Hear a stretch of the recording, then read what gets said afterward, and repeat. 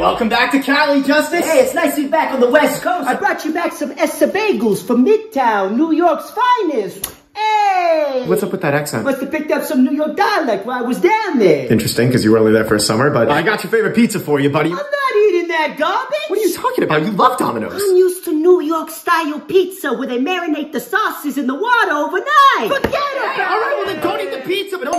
all over the place. God damn it, the Dodgers lost. Go Yankees! What are you talking about? You love the Dodgers. I'm a Yankees fan. Derek Jeter, Aaron Judge. Justus, just because you lived in New York for a summer doesn't mean that you're a New Yorker.